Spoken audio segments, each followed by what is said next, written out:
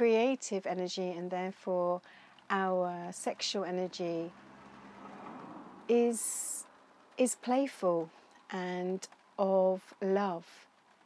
So when we are desiring to manifest, uh, that is the that is the energy, the alignment we want to be in.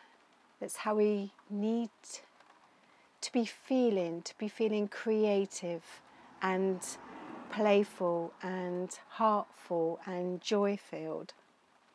When we add things to that very refined energy, such as fear and desperation and lack and distrust, it's no longer love and it's no longer playful. The energy of manifestation and is creativity and is sexual energy. They are they are one thing and so when we are expressing this energy, there is a sincerity about it. We are sincere in our expression. But as soon as we've become serious, as soon as we become attached seriously to that, we've dulled down and dimmed out that aliveness that wants to play and explore and be curious and be in awe. We, we can change our approach by allowing the ordinary to become extraordinary. And I've spoken of this before. It's a very childlike, innocent quality, our creative energy, and therefore our sexual energy. They're not separate things. Um, and that's really important to integrate and embrace and know within ourselves that this energy I'm feeling, this sexual energy I'm feeling, is also my creative energy, source. Um, and it wants to play, and it wants to be vibrant, and it wants to be alive, and it wants to be curious. And everything becomes extraordinary that has dulled down, dimmed out, and, and lost its vibrancy by us approaching it with, as if it's ordinary. I've spoken before about when a child picks up a rock on the beach, and to the child, it's the most magical thing it's ever seen, and it tastes it and smells it, and yeah, it's just, it's perfect and it's beautiful to the child. And even though the whole beach is covered in pebbles, to that child, that pebble is extraordinary. And when we really embrace this quality back into our lives,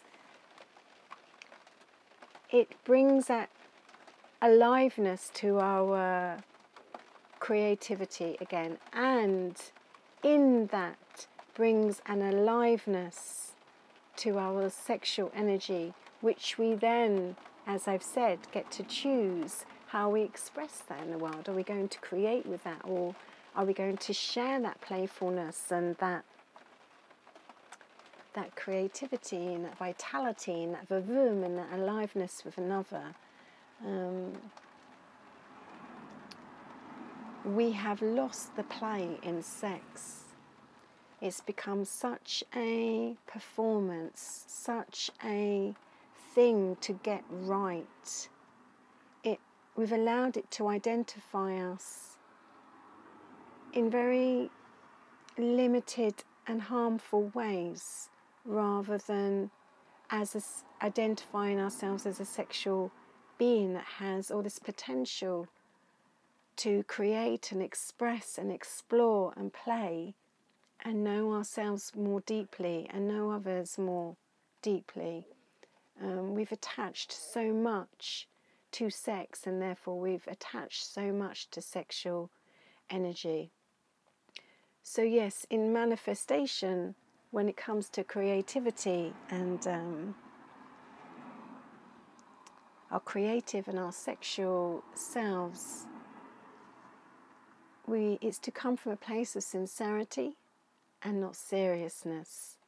And if we can be in love and in play and curiosity and wonder with that, uh, an exploration, then we can, the fear and desperation and need and focus and force that we can put into creativity and manifestation can soften. And with that, we actually become more receptive. And um, this is a big thing. It's about being receptive. Um, our mind is to be empty and receptive, our heart space to be joyful and open and present and receptive, and our, our bellies, our sacral. It's the feminine to be receptive, to conceive, to receive, so that we may we may birth. And then the, there are feminine centers, and in our masculine centers is the you know where can we soften? Where's our our intention? What is our intention? Is it clear? Where is it coming from? Can it be with love? Can it support love?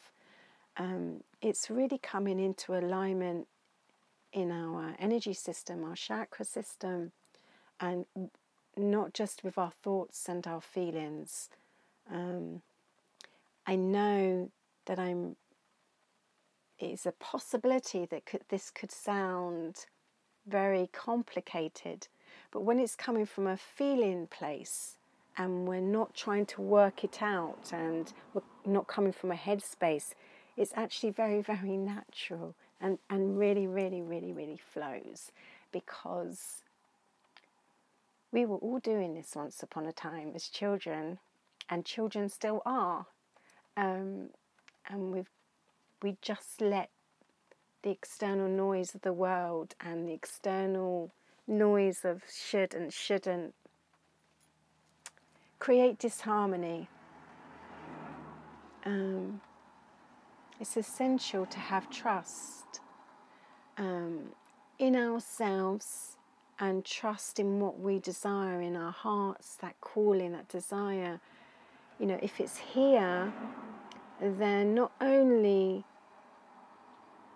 do we want to experience what we desire wants to experience us and, and to trust that alignment that what we desire to experience also desires desires to experience us.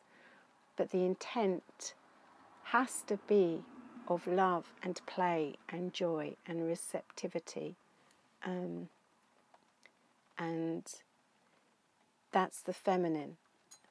Um, the receptivity and the love and the joy and the open heart and the, and the masculine is the pure intent and the focus and the absolute um, presence and alignment. Yeah, I I would just say when you feel yourself coming into seriousness, when you feel you've not, you're not in radiance and aliveness, um, and then notice that with is to notice that within ourselves and and shift back into there's a sincerity, there's a devotion here, and there's this I'm sincere in my intent. I'm sincere in my words, I'm sincere in my heart, I'm sincere in this direction, um, but not serious, not serious.